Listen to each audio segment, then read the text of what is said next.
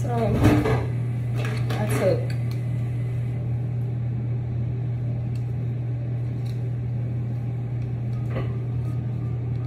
these yesterday. And yeah, so now we're gonna do a digital. Um, yeah, because this was not planned, um, very unexpected. Um, and the circumstances for how it happened aren't ideal. But I'm just gonna take this one and see what it says. So, come to eight. Another one that has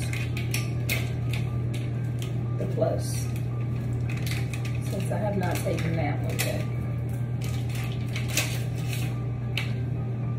So this one, you're supposed to, I'm also going to cover this one up.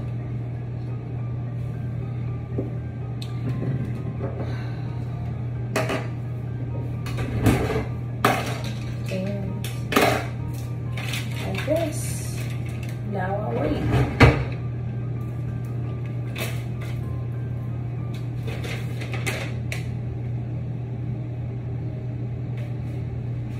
Yeah.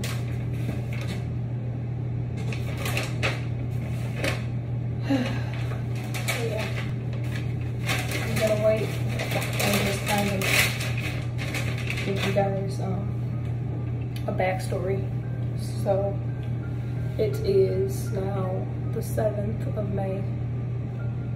Um, I actually found out last night um, what was going on. And I kept saying I don't feel good.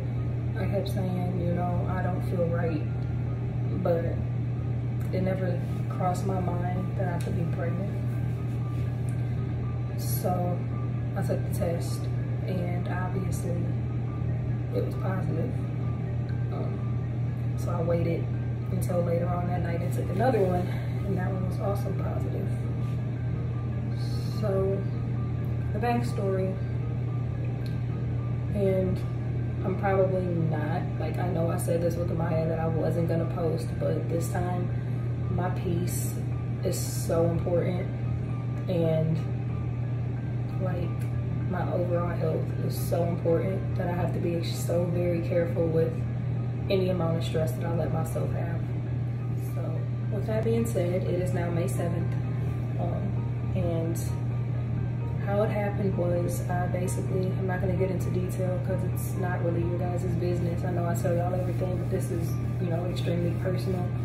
And it was, you know, a very traumatic event for me. But I basically was in the wrong place at the wrong time where I shouldn't have been. And this was the result of that. So I went back and forth with, you know, should I abort? Should I adopt? Should I keep? And after speaking to one of the counselors out here in Houston, I decided that abortion was just completely out of the question. Um, it's just something I can't do.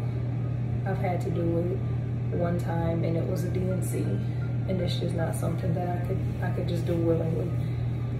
Um, so that was out of the question. And then adoption was next and I basically told them, you know, adoption is just, it's a beautiful thing, but I thought that I would be able to carry and then just give my baby up. And after thinking about it, I was like, I just can't do that. That's not something I can see myself doing. So the last thing left was to just keep it um, and be a mom of three. So yeah, looks like that's what's about to happen. Um, so, pretty sure I can look at these now, and I'm definitely dreading looking at them. So, I'm probably, I'm gonna actually show you guys first. And then I'm probably gonna look at them. So just like it's it's bad because I like already know I am because I took two tests yesterday, but yeah. Yeah, I'll be. So I'm going to show you guys first.